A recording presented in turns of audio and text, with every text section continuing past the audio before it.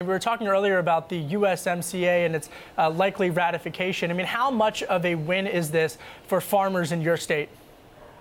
Very good, and I probably will be duplicating some of the things that uh, my friend uh, Governor Vilsack uh, told you, but very good for dairy products into uh, Canada, very good for our quality wheat into Canada. We've been blocked out of that for the last uh, quarter of a century or three decades.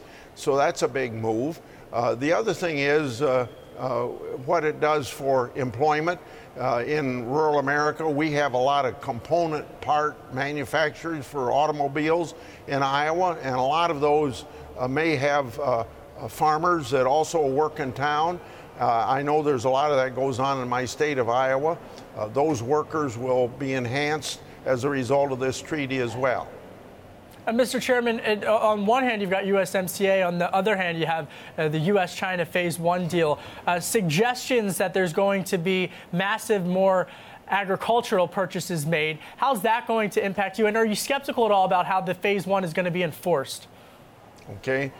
Well, uh, first of all, last Friday was a very big day for the President of the United States. That uh, is the first president in a long time making trade, uh, unfair trade the issue that he ought to make it. And I think he uh, had two big accomplishments last week.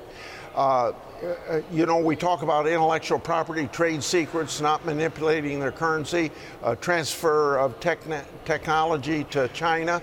Those things uh, are going to be a little harder to measure.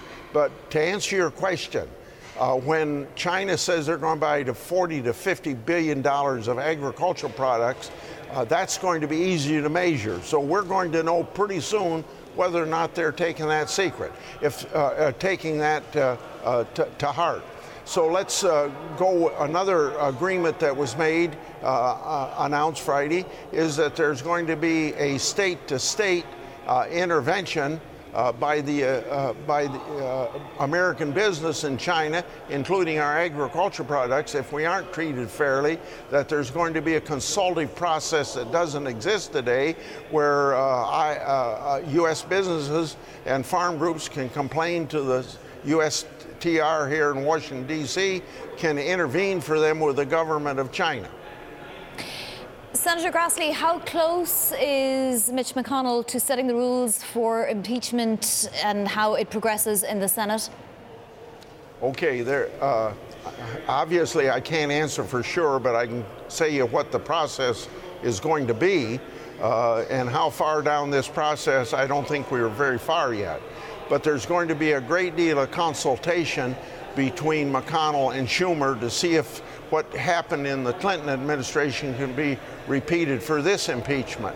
And that was a vote of 100 to 0. In other words, complete bipartisanship on how you ought to proceed.